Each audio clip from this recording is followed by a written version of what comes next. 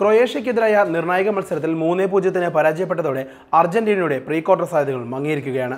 ടീമിന്റെ സാധ്യതകൾ മങ്ങിയതോടെ പരിശീലകൻ യോർഗെ സാമ്പോളിക്കെതിരെ പ്രതിഷേധം ശക്തമാവുകയാണ്.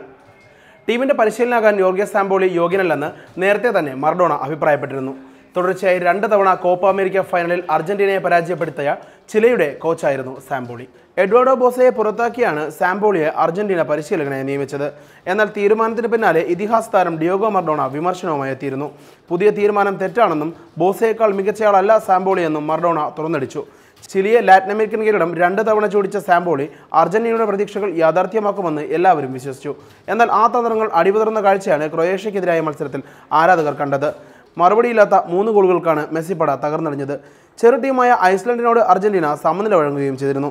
പ്രീ ക്വാർട്ടർ സാധ്യത മങ്ങിയതോടെ സാമൂഹ്യ മാധ്യമങ്ങളിലടക്കം മർഡോണയുടെ വാക്കുകൾ ചർച്ചയാവുകയാണ്.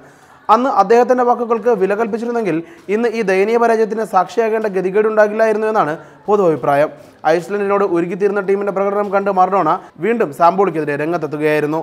മികച്ച ഡിഫൻഡറായ മഷറാനോയെ പ്ലേ മേക്കർ സ്ഥാനത്ത് കളിപ്പിച്ചതും സാംബോളിക്കെതിരെ വിമർശനങ്ങൾ കൂട്ടി. യാതൊരു മുന്നൊരുക്കവും ടീമിനില്ലെന്നും ഈ രീതിയിൽ തുടർന്നും കളിച്ചാൽ സാംബോളി അർജന്റീനയിലേക്ക് മടങ്ങി വരേണ്ടി വരില്ലെന്നും അദ്ദേഹം മുന്നറിയിപ്പ് നൽകിയിരുന്നു. Sports desk Marunadan Malayali.